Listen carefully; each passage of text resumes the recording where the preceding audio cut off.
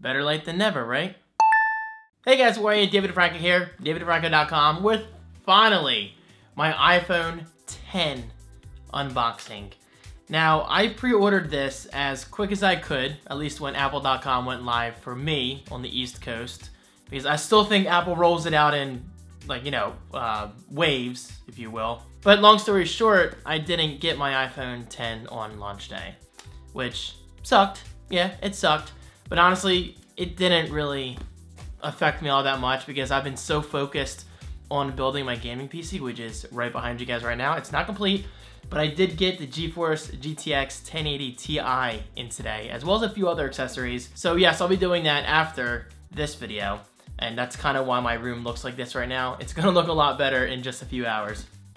Anyway, here we go, iPhone 10 unboxing, 256 gigs, because well, come on, I figured if you're spending a $1,000 on a phone, you might as well go all the way.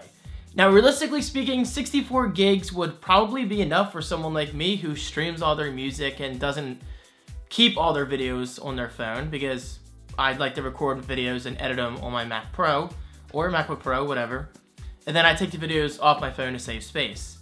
But if I'm spending $1,000 on a phone, I was like, come on, David, you might as well spend the extra money. You're going from 64 gigs to 256 gigs. That's a big jump in overall storage and obviously brilliant marketing on Apple's part. So bravo, Apple. You cost me a couple hundred extra dollars once you factor in tax and all that stuff. Anyway, I did go with the silver version. So let's unbox this right now. iPhone 10, I am very excited because as my weekend vlog viewers know, I broke the Touch ID button on my iPhone 7 Plus while camping.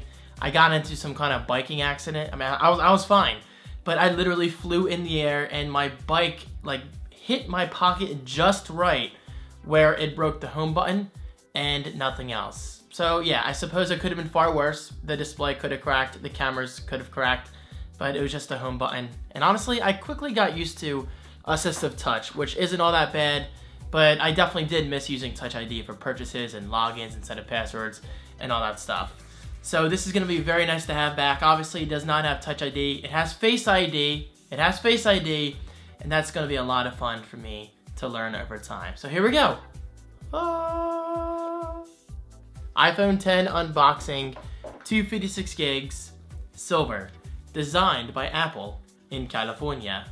And there is the phone itself. Saving best for last, let's go in here. You get a little hello guide, as well as your usual Apple stickers. Very cool. You can never have too many Apple stickers. And let's slide that right back into the packaging, if I can get it in the slit. Come on, David. You know, I can build a gaming PC, but I cannot put paper back in the packaging. There you go. Props to Apple. It's like the perfect fit. All right, moving on. That fell, whatever. iPhone 10. Here you go, here you go. Very nice. Oh my god, look at the back. Is that not beautiful? I just turned it on by accident apparently. Cool, let it boot. And we do have an OLED screen. I think I turned it on. Yeah, there it goes. It turned off for a second. It's doing its startup thing. Get a little power adapter. Goes right back in the box. And you get ear pods. You gotta be careful when you say that. Ear pods, not AirPods. As well as uh, this little adapter for your headphone jack. God forbid. And of course, a lightning cable. So there you go. There's my unboxing of the iPhone 10, but of course I'm not done yet. I'm gonna do a basic walkthrough of what the phone is like to set up initially. But first, let's take off the plastic. Listen to this. Beautiful. Hola. Oh my god, it's so nice to finally hold this in my hand. Now I emphasize that because my dad has had one since launch day. He waited in line in AC. That stands for Atlantic City. And I believe it took him two and a half hours online, which isn't bad at all. But my god, this display is beautiful. This looks even better than the iPhone 7 Plus. All right, so obviously seeing it on video isn't gonna do it justice, but you guys are gonna have to take my word for it.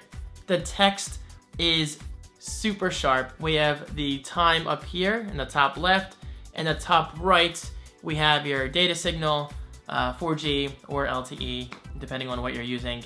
as well as the battery. Now, unfortunately, you cannot see the battery percentage by default. You have to swipe down for uh, Control Center, which is unfortunate, I'm not gonna lie. Hopefully Apple changes that at some point in the near future, because in my opinion, there is room in the top left to add something extra there. So perhaps they will do that in the future. And check it out, you can now just tap the screen to wake it up, which I like a lot. All right, swipe up, here we go. Let's do this together. Very nice. English, select your country, good old US of A. Quick start, if you have an iPhone or iPad running iOS 11, bring it nearby to sign in automatically. If you want, you can also set this iPhone up manually. All right, so I'm gonna set mine up manually. Tap that button. And I'm gonna log into my Wi-Fi SSID DiFranco University. Wow, the keyboard is raised. That's so interesting as I almost dropped the phone. Look at that. The keyboard is actually raised a bit. I guess because it's easier to type higher up than lower. That's smart, and honestly, that didn't even cross my mind until right now. So because the iPhone 10 is radically different than any iPhone we've ever seen throughout the past 10 years, obviously we're to see some changes in uh, overall UI and UX over time. So join the Wi-Fi network. Joined, nice and fast. And guys, honestly, that notch, it's not really bothering me all that much. I've heard after like 5 or 10 minutes of usage, you just kind of forget it's there. And if anything, and yeah, I know, I know, this sounds like a total fanboy comment, it honestly looks kind of cool. It's different from any phone I've used in the past. And that alone is kind of a big deal for Apple. I mean, if you're gonna see this iPhone in public and you see the notch in the middle, you immediately know it's the iPhone 10. So just saying. Confirm your phone number, activation. It may take a few minutes to activate your iPhone. Let the notes thing. And I do have a handful of cases that I will be testing over the next few weeks. It looks really cool. It's not truly bezel-less, but it's pretty damn close, and I really like how it wraps around this screen. It just looks amazing. It really does, and it's so, like, super sharp. It's really, really sharp with text. It looks so good. Okay, here we go. Face ID. This is where things get really interesting. Continue. First, position your face in the camera. Uh, then move your head in a circle to show all angles of your face. So there you go. And I gotta say the OLED screen is looking beautiful. We have pure blacks going on, which is really cool. Let me see if you see a tint of blue. Maybe. It doesn't look as blue as my Pixel 2 XL. All right, get started. Position your face within the frame.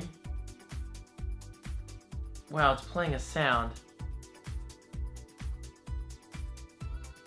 Dude. First Face ID scan complete. Alright.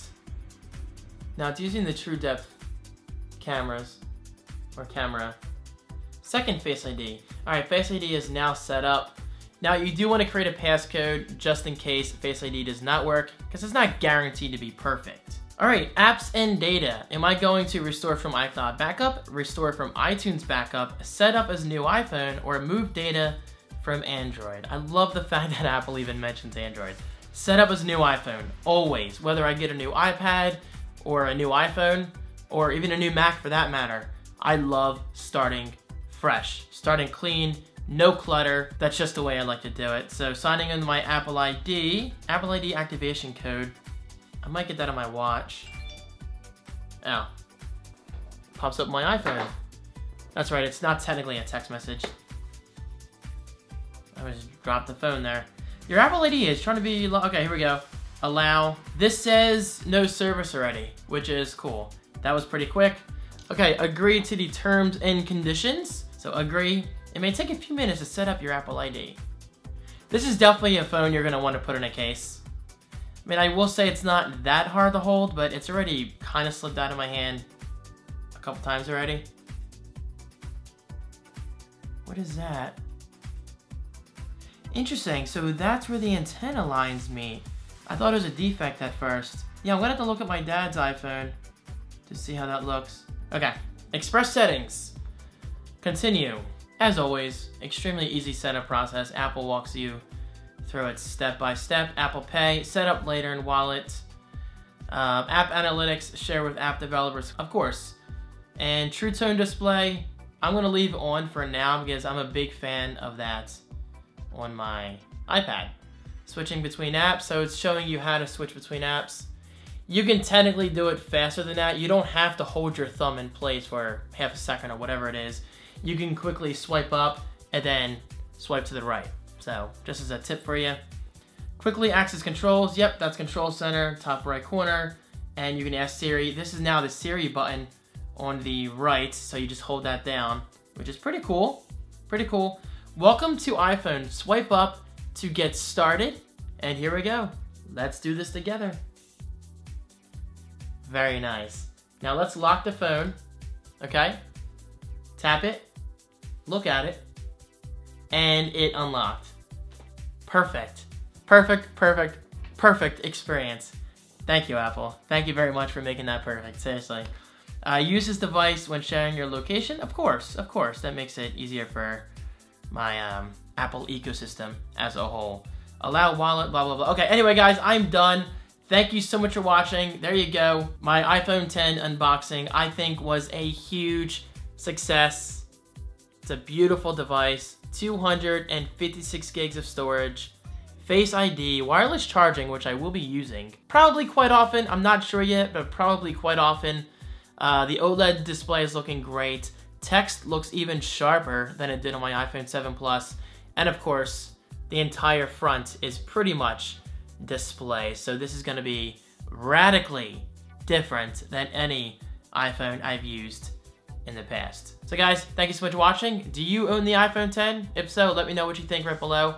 I appreciate your support, and I'll see you next time.